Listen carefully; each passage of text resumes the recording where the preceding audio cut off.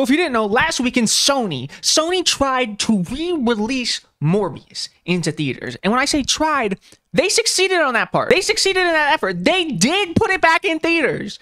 Um, the thing is, it just didn't make any fucking money. I just want y'all to guess. How much do you think it made in its theatrical re-release? How, how much do you think? How much do you think? Throw out a number. Throw out a number. Put it in the air. Fucking $85,000. I don't know much about putting movies in theaters or the business end of movies, but I'm going to take a wild guess. I'm going to take a wild venture and I'm going to say it costs way more than $85,000 to put that shit back in theaters. And you want to know the craziest thing? The craziest thing about all this is that outcome was so predictable. In fact, there is not a universe out there. There's not a universe in all the multiverses where that movie would have made any fucking money on a re-release. It flopped so fucking hard because that shit was so bad.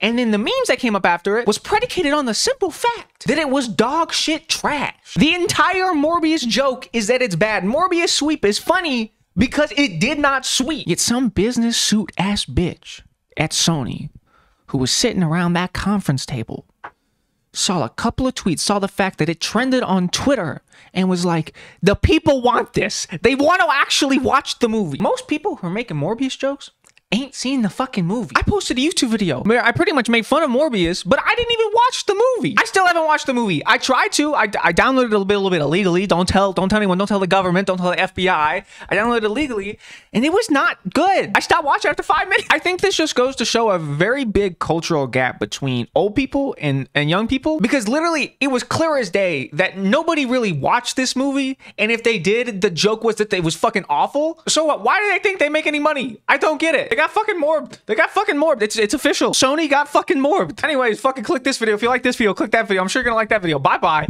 Enjoy your night. Bye bye.